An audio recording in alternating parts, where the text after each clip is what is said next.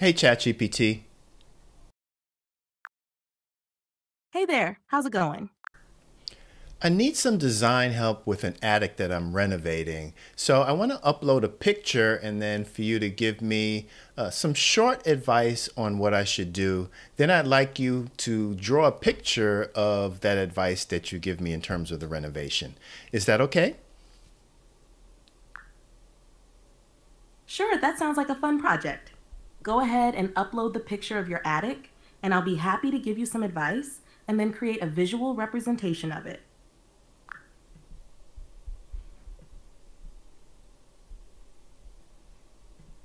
Okay, what advice do you have for me?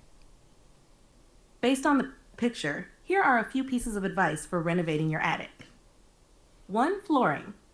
Remove the old carpeting and install new hardwood or laminate flooring to give the space a modern and clean look. 2.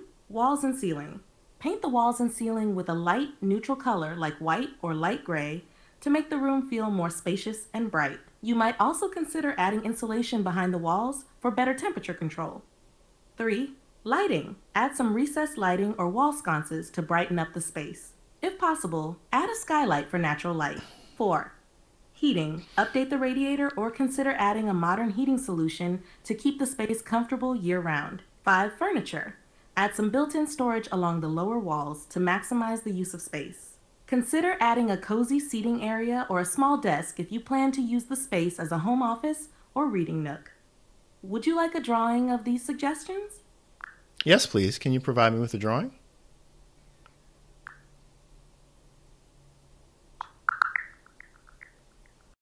Here's a visual representation of the renovated attic based on the suggestions.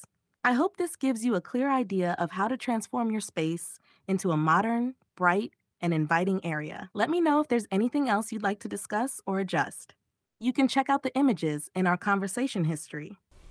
I'd like to make some adjustments. So I really want it to be a combination space of a home office and a bedroom.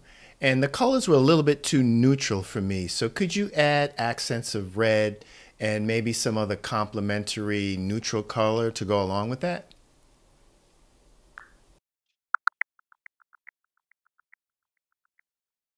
Here's the updated design with red accents and a combination of a home office and bedroom. I hope this matches your vision better. Let me know if there's anything else you'd like to adjust or add.